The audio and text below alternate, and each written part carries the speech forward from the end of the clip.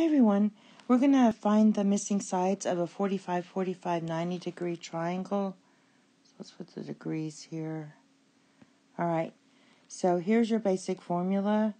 The sides across from the 45 equals A, and the side across from the 90 degree is A square root of 2.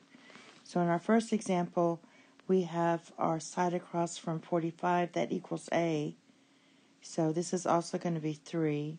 And if you plug in 3 into this one right here, you have uh, 3 square root of 2.